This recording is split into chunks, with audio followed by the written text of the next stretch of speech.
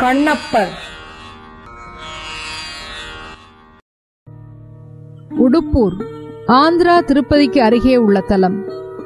அந்த காலத்திலே அது பொத்தப்பி நாடாக விளங்கியது. அந்த தலத்திலே தோன்றியவர்தான் கண்ணப்ப நாயனார். இறைவன் அன்பே சிவமாக அமர்ந்திருப்பார் என்கிறது திருமந்திரம். அன்பே சிவம். ஆதலில் சிவத்தை அடைய அன்பினால் முடியும். அன்பின் திருவுருவம் கண்ணப்பர்.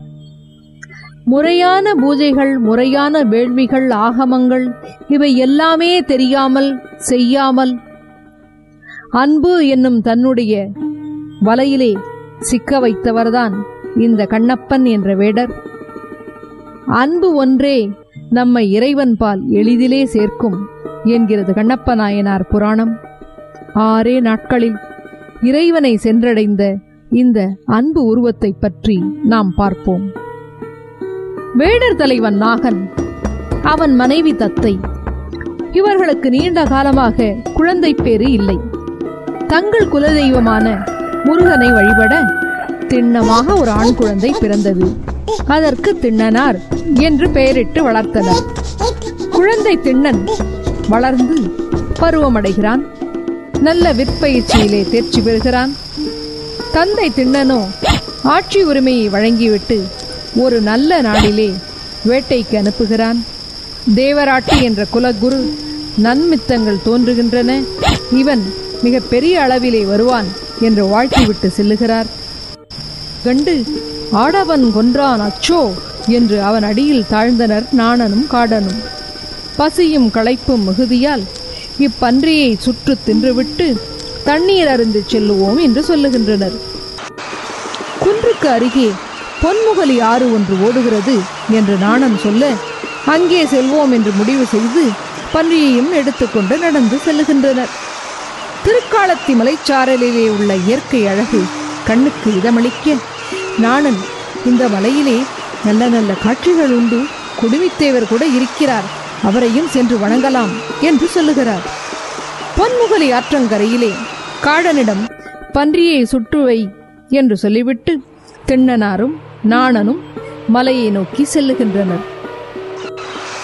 திண்ணனார் மலைப்படிகள் என்னும் தத்துவப்படிகளிலே ஏறி செல்கிறார். இனம் தெரியாத ஒரு இன்பம் அவரது மனம் லேசாகிறது. மலையின் மேலே உள்ள திருக்காலத்தி அப்பனை காண்கிறார். மகிழ்ச்சி கொள்கிறார் ஆனந்தப்படுகிறார். அப்பனை கண்டு தழுவி உச்சி மோர்கிறார். அந்த வினாடி திண்ணனார் தம்மை மறந்து தன் நாமம் கெட்டு தலைவன் தாளில் தலைப்பட்டார். காலத்திநாதன் மேலுள்ள பூவையும் பச்சிலைகளையும் கண்டு இது என்ன என்று கேட்க நாணன் இங்கு ஒரு அந்தணர் வருவார். இந்த இறைவனுக்கு பூவெல்லாம் போட்டு உணவெல்லாம் கொடுப்பார் என்று சொல்லுகிறான். கொடிய விலங்குகள் சூழ்ந்த இந்த பகுதியிலே தனியே நீர் எப்படி இருப்பீர்? என்று மனம் வருந்தி உமக்கு உணவு கொண்டு வருகிறேன் என்று கூறிவிட்டு பொன்முகலி ஆற்றங்கரையை அடைந்து பன்றிக்கரியை சுட்டு அதுக்கி பார்த்துவிட்டு உமிழ்ந்து எடுத்துச் செல்லுகிறார். இந்த திண்ணனார் உடும்பு போல இறைவனை பற்றி கொண்டு அந்த இடத்தை விட்டு அகல்வதாக தெரியவில்லையே என்ன செய்வது? என்று எண்ணி நாணனும் காடனும் மன்னனையும் தேவராட்டியும் அழைத்து வரச் செல்லுவோம் என்று காடு நோக்கி செல்கின்றனர். பொன்முகலி ஆற்றின் நீரை வாயிலே எடுத்துக்கொண்டு மலரை தன் தலை கொண்டையிலே வைத்துக்கொண்டு பன்றிக்கரியை கையிலே எடுத்துக்கொண்டு விரைவாக நடந்து குடிமித்தேவரை அடைகிறார். இறைவன் மேல் உள்ள பழைய பூக்களை எல்லாம் தன் சிறப்பு கால்களால் அகற்றுகிறார். வாயில் இருந்த நீரை உமிழ்கிறார். அபிஷேகமாம். தலையில் சுமந்த மலரை சாத்துகிறார். இறைச்சியை தான் கொண்டு வந்த அந்த பன்றி கறியை இறைவனை சாப்பிட வேண்டும் என்று கேட்கிறார். இரவு முழுதும் இறைவனுடனே இருந்து காவல் காக்கிறார். மறுநாள் காலையில் அமுது கொண்டு வர எண்ணி அந்த இடத்தை விட்டு செல்லுகிறார் சிவாக முறைப்படி வழிபாட்டை செவ்வனவே செய்து வரும் சிவகோசரியார் அங்கு வருகிறார். பெருமான் மேலே உள்ள இறைச்சியை எலும்புகளைக் கண்டு மனம் பதறி மனம் வருந்தி குற்றம் நடந்து விட்டதே என்று மனம் பதபதைத்து துன்புற்று என்ன செய்வதென்று அறியாமல் சுத்தத்தை செய்துவிட்டு தினசரி பூஜைகளை செய்கிறார். இது போல நான்கு நாட்கள் நடைபெறுகிறது. ஐந்தாம் நாள் சிவகோசரியார் எலும்பும் இறைச்சியும் விட்டு உனக்கு தீங்கு செய்பவர் யார்? என்று கேட்க இறைவன். அவர் கனவிலே தோன்றி அவனுடைய வடிவம் நம்மை சார்ந்த அன்பு. அவன் அறிவு யாவும் நம்மை அறியும் அறிவு.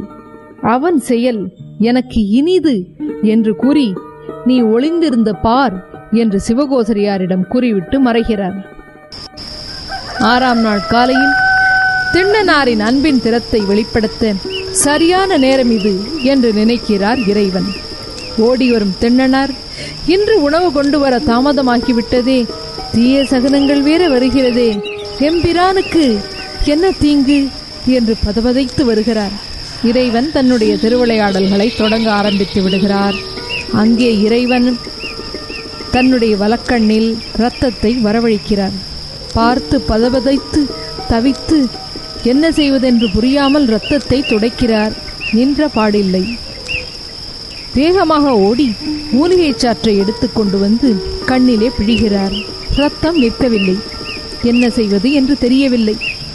ஊனுக்கு ஊன் என்று நினைவுக்கு வர அம்பை எடுத்து தன்னுடைய வலக்கண்ணை தோண்டி வலக்கண்ணிலே அப்புகிறார். ரத்தம் நின்று விடுகிறது. துள்ளுகிறார் கூத்தாடுகிறார். சிறிது நேரம் கழித்து இடது கண்ணிலும் ரத்தம் பெறுகிறது ஆஹா கெட்டேன் என்று அலறுகிறார். ஆனால் இதற்கு தான் மாற்று மருந்து என்னிடம் உள்ளதே என்று எண்ணி இன்னொரு கண்ணையும் எடுத்து அப்பி விடுகிறேன் என்று கூறி இடக்கண்ணை எடுத்து விட்டால் சரியாக பொருத்தும் இடம் எனக்கு தெரியாது என்ன செய்வது என்று நினைத்து தன்னுடைய இடக்காலை இறைவனின் இடக்கண்ணில் ஊன்றி தன் இடக்கண்ணை அம்பு கொண்டு அகழச் செல்லும் போது இறைவன் அதற்கு மேலும் பொறுக்காமல் நில்லு கண்ணப்ப நில்லு கண்ணப்ப நில்லு கண்ணப்ப என்று மும்முறை இறைவன் கூறி தன் கையால் தடுக்கிறார் என்றும் என் வலப்பக்கத்தில் இருப்பாயாக என்று வரம் அருளுகிறார் பார்த்து கொண்டிருந்த சிவகோசரியாரோ கண்ணப்பரின் பக்தி நிலையைக் கண்டு வியந்தார். காலத்திநாதனை வணங்குகிறார். பெரிய புராணத்தில் இந்த கண்ணப்பர் வரலாற்றில் ஆகம வழிபாட்டையும் அன்பு வழிபாட்டையும் ஒரு சேரக் காட்டி அன்பு வழிபாட்டின் பெருமையும் சிறப்பையும் விளக்குகிறார். செக்கிழார் பெருமான். தேவார ஆசிரியர்களும் கல்லாடரும் நக்கீரரும் ஆதிசங்கரரும் பலரும் இவரை போற்றி பாடுகின்றனர். இக்கண்ணப்ப நாயனாரின் இந்த அன்பு தெய்வத்தின் பாத மலர்களை வணங்குவோம். கண்ணப்ப நாயனார் காலத்தியப்பரின் வல திருக்கண்ணிலே ரத்தம் ஒழுகிய நிலையிலே தனது வலக்கண்ணை அப்பிய கண்ணப்பர் காலத்தியப்பரின் இடக்கண்ணிலும் ரத்தம் நிலையிலே தமது இடக்காலை ஊன்றிக்கொண்டு அம்பினால் தமது இடக்கண்ணையும் தோண்டி இறைவரது இடக்கண்ணிலே அப்புதற்கு முற்படும் காட்சி. கலை மலிந்த சீர்ணம் கண்ணப்பர்க்கு அடியேன் கண்ணப்பர்க்கு அடியேன் கண்ணப்பர்க்கு அடியேன்.